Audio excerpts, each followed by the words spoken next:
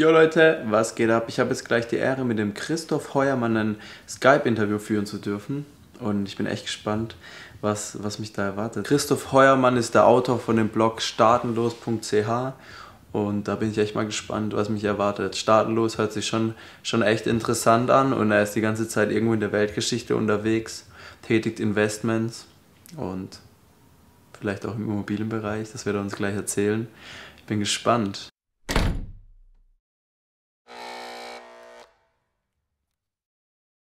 Also ich freue mich, dich heute hier zum Interview begrüßen zu dürfen. Herzlich willkommen, Christoph Heuermann. Und du bist gerade in Panama, gell? Oder wo treibst du dich rum? Genau, ich bin gerade äh, gestern hier in Panama angekommen von Roatan, das ist eine Insel von Honduras. Okay. Du bist ähm, digitaler Nomade oder, oder staatenlos oder wie bezeichnest du dich? Ja, man sagt auch Perpetual Traveler dazu. Das heißt, ich bin seit fünf Jahren in der Welt unterwegs, am Reisen. Okay. Dauerhaft unterwegs und selten länger als irgendwie zwei, drei Wochen in einem. Und du wohnst dann in einem Hotel jetzt gerade oder wo bist du? Bist du im Hotel, Airbnb oder wie machst du das? Meistens in Hotels, ähm, weil ich, sage ich mal, im Laufe der Zeit herausgefunden habe, wie man recht schnell eben an einen hohen Status gelangt, äh, günstig Hotels buchen kann. Okay. Da bin ich in den Marriott SPG Hotels weltweit. Okay, wie viel zahlst du dann? Also wenn du sagst günstig, ein normales Zimmer ist mal 200 Euro pro Nacht kostet, kriegst du es dann für die Hälfte oder noch weniger?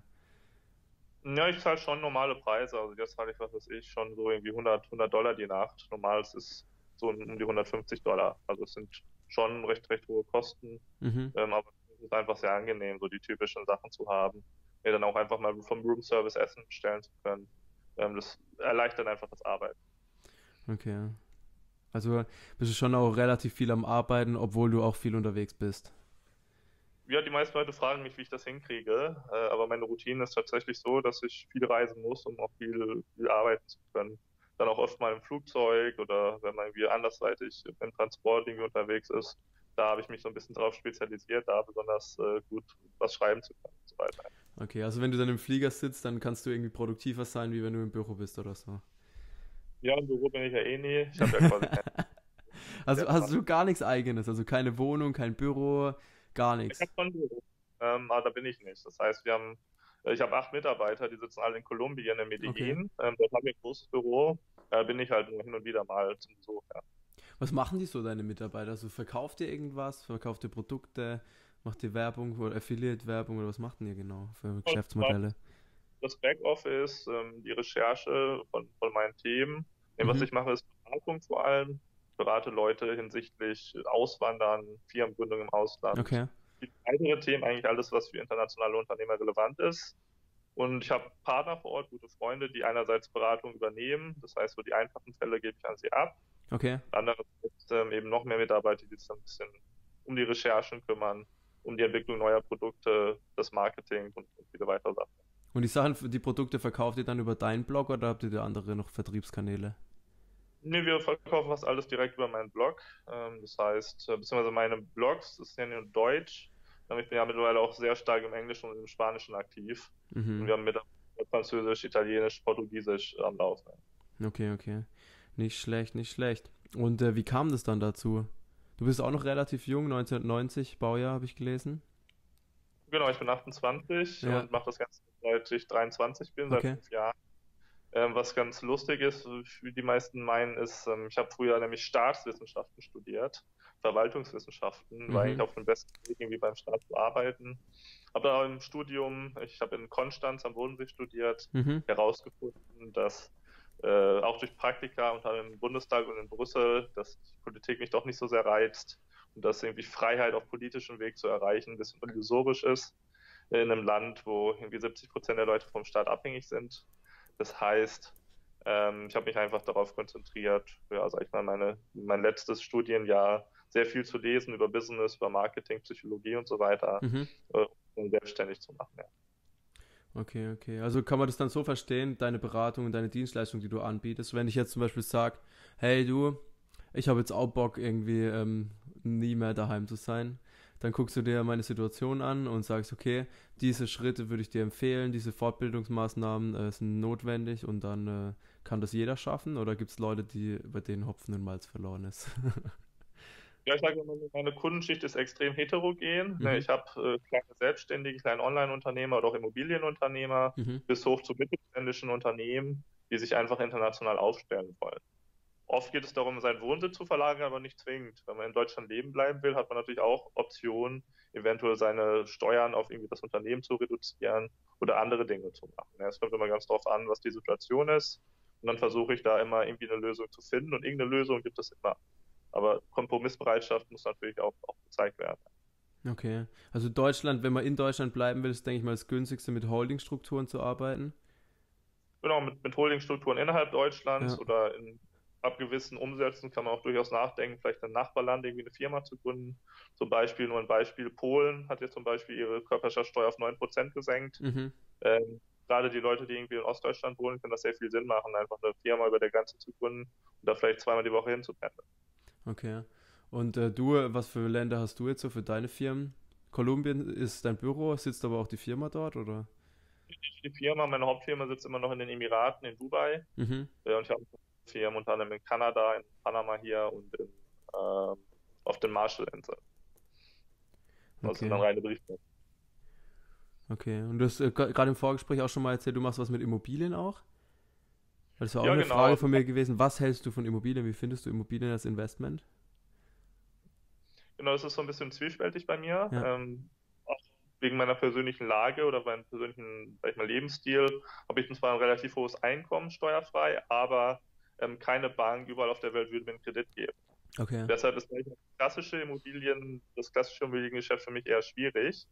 Äh, dementsprechend habe ich einen anderen Weg gewählt. Und zwar, ich mache mit zwei Freunden aus Wien zusammen Kurzzeitvermietung. Das heißt, wir mieten Wohnungen an und mieten sie teuer weiter. Das Ganze ist auch eher im Luxussegment, also hochpreisige Wohnungen. Ja. So ab 50 bis, bis 300 die Nacht. Und ähm, da haben wir ein eigenes System entwickelt, das eben sehr gut funktioniert, mhm. ähm, komplett automatisiert ist. Das heißt, Check-in ist komplett automatisiert. Ähm, und wir haben eigene Software, ähm, machen das Payment selber, ähm, was, was durchaus Vorteile hat. Dann kriegen wir das Geld nämlich nicht sofort, statt wie Airbnb, du kriegst halt das Geld erst bei Airbnb, wenn der Gast da war. Okay. Wir kriegen das Geld halt vorher, können dadurch deutlich schneller wachsen. Und was habt ihr für eine Auslastung dann am Start? Das ist unterschiedlich, aber wir haben so über 90 Prozent, 90 bis 92 Prozent. Ja, sehr gut. Und wie kriegt ihr dann die Kunden, wenn ihr die Plattform nicht nutzt? Wir nutzen Airbnb auch, aber quasi nur zur Auslastungsoptimierung in der letzten Woche, äh, okay. wenn das Geld eh Vorher nutzen wir andere Plattformen wie Booking.com, geht viel rüber oder diese ganzen anderen Ferienwohnungsvermietungen. Ah, okay, du vermietest quasi ähm, im Voraus darüber, über die ganzen Plattformen. Falls es nicht weggeht, haust du es bei Airbnb noch rein. Genau. Aber wir machen das Payment eben selber, haben dadurch auch die kompletten Kreditkartendaten, was praktisch ist. Mhm. Wenn jemand einen Schaden verursacht, wird das halt direkt abgebucht. Ja, klar, wird unterschrieben dann beim Vertragsabschluss. Genau. Und wir sind momentan vor allem in Wien, Budapest und, und Leipzig aktiv. Mhm. Wir machen jetzt auch relativ viel in Kolumbien und Panama und haben vor, eben auch weltweit zu wachsen und suchen da auch Investoren oder so Leute, die uns Wohnungen zur Verfügung stellen.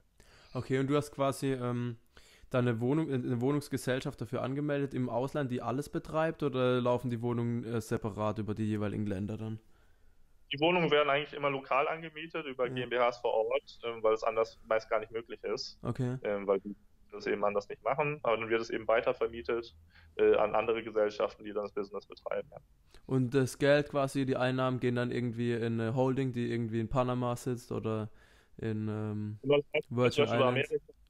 US-LLCs und so weiter. Und ähm, da Was, wo war das? Das habe ich nicht ganz verstanden. Über die USA. Oh, über die USA. Okay. Ähm, du hast gesagt, du hast einen relativ hohen Cashflow monatlich steuerfrei. Willst du darüber reden, wie hoch der ist, oder behältst du das für dich? Ich kann da gerne drüber reden, ja. Ja, und? Wie schaut's ja, aus? Ein Cashflow im Monat ist so bei, bei 40.000 Euro. Mhm. Ähm, meiste, also sag ich mal, die Hälfte davon ist aktive Arbeit, ne, Beratung, ja, okay. die ich mache, meine Partner machen. Aber die Hälfte ist auch passiv und allzu viel, also digitale Produkte, Kommission, ähm, Affiliate Marketing und so weiter. Mhm. Eigentlich bräuchte ich die Marke nicht machen. Ich gebe doch relativ viel Geld aus bei den ganzen Reisen, aber es ist vielleicht ein, ein, ein Viertel überhaupt von dem, was ich verdiene. Das heißt, ähm, ich habe eben recht, recht viel Geld, was ich investieren kann. Und äh, durch meine Arbeit auch äh, ist es natürlich für andere Leute interessant. Dass ich da gewisse Investments tätige und, und die Leuten anbiete, ja. Okay, von dem Cashflow, den du gerade erwähnt hast, musst du dann noch irgendwie deine Mitarbeiter bezahlen oder sind die schon rausgerechnet? Das ist, ist schon reingerechnet, ja. Okay, okay. Ja, nicht schlecht, da kannst du es dir ja gut gehen lassen. Wir haben Büro in Kolumbien, das ist eben ganz bewusst in Kolumbien und nicht irgendwie in der Schweiz, äh, okay. weil wir dort deutlich niedrige Nebenkosten haben. Hast du dann Deutsche, Europäer da sitzen, die da für dich arbeiten oder sind es Locals? Ja, wir haben auch einige Deutsche, die, die für uns arbeiten, die aber einfach vor Ort leben wollen. Und mhm. in Kolumbien ist halt sehr günstig. Das heißt, man braucht da nicht allzu viel Geld. Äh, wir haben auch einige Kolumbianer, ähm, weil wir eben jetzt mittlerweile auch sehr viel auf Englisch und Spanisch machen. Das ist das optimal. Okay. In den äh, spanischen Ländern gibt es da auch so komplexe Steuersysteme wie jetzt in Europa oder ist es da ein bisschen easy? Ja, deshalb wandern viele eben in diese Länder aus, wie hier Panama oder viele andere lateinamerikanische Länder. Die haben ja das Steuersystem der sogenannten Territorialbesteuerung. Das heißt, alles, was man im Ausland verdient, ist steuerfrei. Nur wenn man im Inland was verdient, wird es besteuert. Okay. Ähm, grundsätzlich ist es ja so, wenn man den Weg in die Selbstständigkeit wagt, hat man am Anfang ähm, irgendwelche Investments zu tätigen, muss irgendwie gucken, wie man das erste Jahr übersteht. Wie hast du das da, damals gemeistert? Also ich meine, du warst ja noch relativ jung. Hattest du schon irgendwie ähm, fettes Einkommen am Start, wo du sagen konntest, okay, ich spare jetzt einfach mal ein halbes Jahr und kann dann ein Jahr dort im Ausland überbrücken, bis mein Business läuft? Hast du das nebenher aufgebaut oder wie hast du so die Anfangsphase übersprungen? Hattest du schon direkt ein, ein großes Einkommen dann durch deinen dein Job oder wie ging das? Ja, ich bin quasi direkt nach dem Studium, ich habe quasi meine Bachelorarbeit abgegeben und bin dann nach Mexiko geflogen und ein halbes Jahr gereist von Mexiko nach Kolumbien. Mhm. In dieser Zeit, sage ich mal, meinen Blog vorbereitet. Ich hatte mhm. gar kein Einkommen. Ähm, ich hatte noch, äh, was ich, 10.000 Euro auf dem Konto, weil ich im Studium dann mhm. Stipendium bekommen hatte. Mhm. Ähm, das war dann quasi nach einem Jahr weg. Ähm, das heißt, am Anfang bin ich halt sehr, sehr günstig gereist, ne, in Hostels, ähm, günstig gegessen, gekocht und so weiter, habe dann weniger als 30 Euro am Tag ausgegeben, mhm. konnte also von dem ganz gut leben. Ähm, bin auch nicht geflogen, sondern komplett über Land gereist. Ähm, habe dann, äh, nachdem ich den Blog gestartet habe, schon relativ schnell was verdient, aber eben nicht viel. Das heißt, so das erste Jahr mit meinem Blog habe ich so die 1000, 2000 gemacht. In einem Jahr und oder im Monat? Im Monat dann. Mhm. Das hat circa drei Monate gedauert, bis ich so den ersten Tausender im Monat gemacht habe. Und ich habe damals die Beratung für, weiß ich noch, für 50 Euro angeboten. Okay. Jetzt ist sie 500 Euro, ja. Und die machst du dann immer über die sozialen Medien oder manchmal auch persönlich, wenn man Lust hat anzureisen? Es ist möglich, das persönlich zu machen, ähm, wenn man eben hier folgt, aber ich sage mal, fliege jetzt nicht den Kunden hinterher, dann mache ich mhm. das lieber online. Okay, und wie lange hat es dann gedauert, bis du die 10.000 geknackt hast? 10.000 im Monat? Ja. Es hat schon so zwei Jahre gedauert. Ähm, es haben einfach, sag ich mal, einige Produkte, die ich erstellen musste, Bücher schreiben, Videokurse, die ich erstellt habe. Und dann einfach so ein bisschen das Netzwerk, äh, was ich halt, sag ich mal, mit jedem Artikel, den ich schreibe, äh, wird diese Webseite beliebter, kommen mehr Leute drauf und ähm, irgendwann war dann der Punkt, dass ich das selbst gar nicht mehr handeln konnte mhm. und mir habe, beziehungsweise auch auf, angefangen habe, das Office aufzubauen.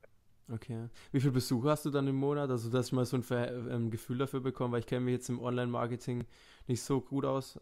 Also, wie viele Besucher braucht man denn im Monat bei einem Blog, um so die 10.000 im Monat äh, zu generieren? Nur mal so eine grobe Hausnummer. Kommt an, was man anbietet. Mhm. Bei mir sind es halt hochpreisige Produkte. Mhm. Das heißt, ich brauche relativ wenige Besucher, die, die, die, die mögen, was, äh, was ich mache, die es dann kaufen. Mhm. Also ich schätze, ich habe im Moment so um die, um die 200.000 Besucher im Monat. Mhm. Äh, allerdings über die drei Hotblocks. Und ähm, das reicht mehr als genug äh, aus dafür, aber wahrscheinlich auch weniger. Ja, okay.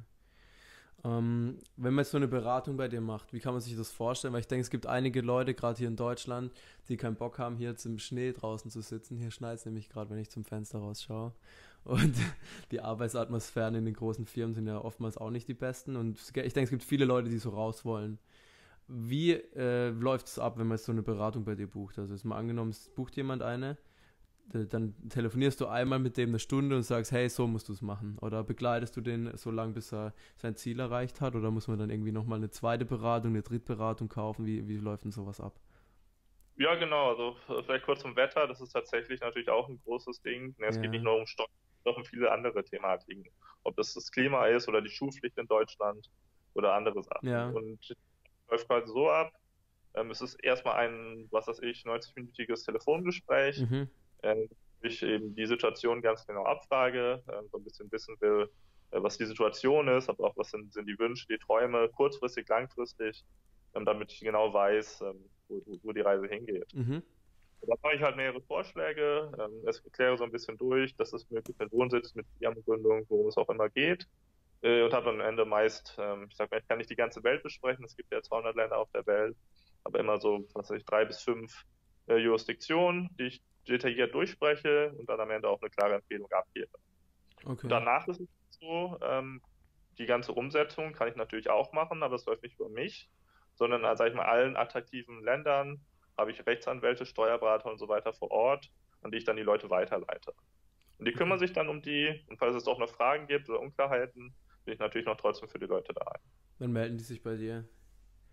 Genau, und die melden sich schon öfters mal wieder auch für ein Beratungsgespräch, aber nicht aus dem Grund, weil das nicht geklappt hat oder so, das vorherige, sondern weil sie happy sind und einfach, sag ich mal, deutlich flexibler ja. im Ausland, mit deutlich mehr Zeit, haben sie einfach neue Business-Ideen, die sie ausprobieren wollen.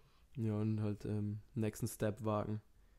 Genau. Wie, wie ähm, sind so deine Kunden drauf? Was sind das für Leute? Also sind das irgendwie so fertig, Leute fertig im Studium sind direkt? Sind das Angestellte? Sind es Familien? Was sind so, was sind so der Hauptkunde und die, die durchschnittliche Altersklasse? Das durchschnittliche Alter ist so 25 bis 35, würde ich sagen. Teilweise auch, auch höher. Ich habe auch Rentner teilweise, die okay. einfach Kapitaleinkünften leben ähm, oder auch schon fortgeschrittene Familienunternehmer, die sich so ein bisschen verlagern wollen. Aber ich habe auch sehr junge Leute. Ich habe, äh, was, was ich sehr schön finde, ich habe sehr viele Leute unter 18, 16, okay. 17, die leider große Probleme haben, sowohl in Deutschland als auch international äh, was zu machen, weil bevor sie nicht 18 sind, äh, können sie halt keine Firma wirklich gründen. Ja, ja, klar, da muss man halt durch und gut planen, gut vorbereitet starten ins Berufsleben. Ähm, wie viele Leute? Ich viel, Sorry? Auf jeden Fall. Ich habe ich hab viele Familien auf jeden Fall. Ein großes Thema ist halt so ein bisschen der Schulzwang in Deutschland. Viele wollen ihre Kinder quasi frei lernen lassen. Und da bin ich auch so ein bisschen drauf spezialisiert, die Länder zu finden, wo die sich dann ohne Stress mit dem Jugendamt niederlassen können. Okay. Ähm, wie viele Leute hast du dann schon dazu gebracht, dann durch deine Beratung ins Ausland zu gehen? Weißt du das? Also ich schätze direkt, wenn ich alle Beratungen zusammennehme, sind es über 1500. Okay. Ähm, indirekt, weil viele natürlich auch einfach meinen Blog lesen, Produkte kaufen, aber dann keine Beratung buchen, wahrscheinlich nochmal 1000. Also so zweieinhalbtausend würde ich sagen. Okay, nicht schlecht. Not bad. Und ähm, was treibt dich an, die Leute, den Leuten weiterhin zu helfen? Weil du hast ja schon eigentlich genug Cashflow durch deine ähm, Automatisierung. Was treibt dich an? Ja, ich sag mal, es gibt einfach niemanden in meinen Augen, äh, der, der, diese, der diese Expertise hat. Ähm, es gibt viele, die sich in einem Land sehr gut auskennen. Mhm. Also über alle Jurisdiktionen hinweg gibt es ganz wenige oder niemanden, der sich wirklich so gut auskennt, den Leuten wirklich zu helfen. Und deshalb sehe ich das so ein bisschen als meine, sag ich mal, meine Motivation an, das auch weiterhin anzubieten. Natürlich zu einem gewissen Preis. Also 500 Euro ist noch, ein, ist noch eine okay für mich. Da kann ich mich zwei Stunden hinsetzen und mit Leuten sprechen, mhm. den Leuten helfen. Und ich habe eben auch oft ein recht freundschaftliches Verhältnis zu Kunden. Viele Kunden werde ich, treffe ich dann mal später, was ich hier in Panama heute Abend treffe ich wieder mit, mit zehn Leuten, die ich hier irgendwann mal hingebracht habe. Und das, äh, sage ich mal, artet dann auch in, in anderen Geschäftsmodellen oft aus, dass ich dann mit Leuten vor Ort kooperiere, irgendeine spannende Business-Idee habe und ähm, genau, äh, ist eben jetzt nicht nur einmal und dann, dann tschüss, sondern ähm, da trifft man sich dann oft auch wieder, ja. Okay, nicht schlecht. Ähm, ich denke mal, du hast das steueroptimalste Modell am Start, das es gibt. Zahlst du überhaupt Steuern oder gar nichts? Ja, ich, ich zahle schon Steuern, die ich nicht vermeiden kann, vor allem nämlich die ganzen Umsatzsteuern. Ah, ja. äh, auch zum Beispiel auf, was ich, digitale Produkte, die ich verkaufe nach Deutschland, auch darauf bin ich verpflichtet, Umsatzsteuern zu zahlen. Mhm. Das mache ich auch. Aber ich zahle jetzt keine direkten Steuern, weder Einkommens noch äh, Kapitalertrags noch äh, Körperschaftssteuern. Ja. Alles über Dubai dann quasi. Genau, also die Firma sitzt, also die Hauptfirma sitzt in Dubai. Meine persönlichen Wohnsitze, ich habe mehrere, sind vor allem hier in Panama und in Paraguay und in Thailand. Okay. Ähm, aber weil ich nirgendwo wirklich fest wohne, ähm, bin ich halt nirgendwo wirklich steuerpflichtig. Ja. Und dann, du hast einen Wohnsitz jetzt zum Beispiel in Panama, wohnst nicht fest. Wo ist dann dein, deine Anschrift? Hast du einfach irgendwo einen Briefkasten bei einem Kumpel am Haus hängen oder wie wird ja, so? Genau. so ähnlich. Und da schaut dann jemand rein, wenn du nicht da bist, oder? Ja, genau. Ich bin, äh, habe mehrere Anschriften, je nachdem, was ich so brauche. Habe ich eine in Thailand oder hier in Panama, die ich dann nutze. Ja. Ähm, habe eine Verbrauchsrechnung vor Ort, die ich brauche, um Bankkonten zu eröffnen. Aber habe jetzt kein festes Haus Apartment. Gut, ich habe eins in Chile. Mhm. Ich habe mir eine Apartmentwohnung letzt vor zwei Jahren in Chile gekauft mit Bitcoin. Äh, zum Glück, als der Bitcoin noch bei 20.000 stand. Das war ein sehr gutes ähm, Die wird aber gerade noch gebaut. Die ist jetzt wahrscheinlich erst in einem Jahr fertig. Also ein Neubau dann? Ja, das ist eher so ein, ist ein kleines Apartment in einem größeren Projekt. So eine, sag ich mal, Immobilien-Community für ähm, Online-Unternehmer, Krypto-Millionäre und so weiter. Okay. Hast du auch dann einen guten Reibach gemacht mit dem Krypto? Wenigstens ein bisschen was mitgenommen, oder? Ich habe ganz gut was mitgenommen und auch zum Glück halbwegs früh verkauft. Ja, ja, da, da gibt es ja einige, die haben richtig viel gemacht und andere, die haben richtig viel verloren. ja, ich habe damals verkauft, als mein Vater in, in Krypto eingestiegen ist. Der kann doch nicht mal ein Smartphone bedienen. Da dachte ich, ja, jetzt besser raus. Jetzt, jetzt besser raus. Haben deine Eltern dann auch so was gemacht wie du? Sind die auch viel unterwegs oder sind die zu Hause in Deutschland? Ich kann das so ein bisschen sagen, mein, mein Vater macht was ähnliches, aber halt mhm. rein in Deutschland. Er ist halt einfach, sag ich mal, Personalberater, Headhunter, Mhm. Der fährt halt Zug durch Deutschland und äh, trifft sich mit Leuten in den größeren Städten, versucht die irgendwie zu vermitteln an, an Firmen, ja. Okay, hast du, hast du da schon ein bisschen was aus dem Elternhaus mitbekommen, was das angeht? Oder ja. So? ja mein Vater ist äh, jetzt nicht sonderlich erfolgreich, aber er hat mir schon immer ganz gute Tipps gegeben. Unter anderem äh, hat er mir immer gesagt, obwohl er es selbst nicht macht, lass andere Leute für dich arbeiten. Ja. Okay, das, das hast du dir natürlich zu Herzen genommen. Eingeprägt, ja. Okay, cool. Ähm, Gibt es noch sonst, sonst noch irgendwas, was du mir empfehlen würdest? Also wenn ich viel Urlaub machen will und möglichst günstig reisen will, wie, wie sind so die einfachsten Wege, wie man da am besten vorgeht? Also du kannst wahrscheinlich Business Class fliegen zu Economy-Preisen, so wie ich dich jetzt einschätze. Natürlich. Geht ja, das? Das mache ich auch mal. Das geht gut. Es gibt auch einige Tricks, wie man das gut erreichen kann. Ähm, generell bei Fliegen, ob es jetzt Business oder First Class äh, oder, oder, oder Economy Class ist, was man sehr gut machen kann, ist, wenn man ein bisschen flexibel ist, ähm, dass man einfach äh, auf diese typischen Seiten geht mit sogenannten Aerofares. Ne, Aerofares sind einfach äh, fehlbepreiste Flugpreise. Ähm, gibt viele Webseiten, zum Beispiel flyforfree.com oder secretflying.com oder Urlaubspiraten oder so, da geht man drauf, äh, trägt sich irgendwie seine E-Mail ein oder WhatsApp-Nummer und dann kriegt man jeden Tag Notifications wenn es wieder einen günstigen Deal gibt. Da ja. kannst du oft Business Class oder, oder eben Economy Class für ein Viertel des Preises fliegen, überall hin auf die Welt, ja. Okay. Alles klar, das, da musst du halt immer dahin fliegen, wo es gerade einen Flug gibt und nicht, wo du hin willst, oder? ähm, sag ich mal, du kannst ja schon mehrere Monate im Vorab planen, wo du hin willst. Mhm. Und dann kannst du Filter einstellen, dass dir halt nur die Deals angezeigt werden, was ist nach Thailand wenn du es ein paar Monate vorher machst, dann kommt garantiert ein Deal in der Reisezeit, wo du auch Zeit hast, nach Thailand, gerade nach Asien gibt es da super viele Sachen. Was zahlt man dann so? Also wie viel zahl, würdest du jetzt zahlen, wenn du sagst, okay, ich will von Panama nach äh, Bangkok irgendwann? Was ist ein guter Preis für dich? Diese, diese Sachen nur mit Business Class und da gibt es nicht ganz so viele Deals wie Economy, äh, aber ich kann mal sagen, ich hatte zum Beispiel einen Flug von, von, von Oslo nach Kapstadt, Südafrika, Business hin und zurück 600 Euro. Okay. Ja, so gut, das war Economy von, von Frankfurt nach Hawaii hin und zurück 300 Euro. Oh, nicht schlecht. Oder generell Business Class äh, mache ich maximal so zur, zur Hälfte des Preises. Ja. Okay. Ich hatte letztens einen Flug Emirates First Class von Tunesien auf die Malediven für hin und zurück für 1500 Euro. Okay. First Class bei Emirates ist geil, oder? Ist schon ziemlich nice, ja. Die, die beste First Class, die du geflogen bist, oder? Ja, die ist eigentlich die einzige First Class, sonst steht mhm. eher Business. Mhm. Aber so Singapore Airlines Business ist eigentlich das, was ich am liebsten mag. Okay. Super, dann ähm, vielen Dank für die ganzen Mehrwerte, die du uns geliefert hast, Christoph. Hast du noch irgendwas, was du mitteilen möchtest der Community?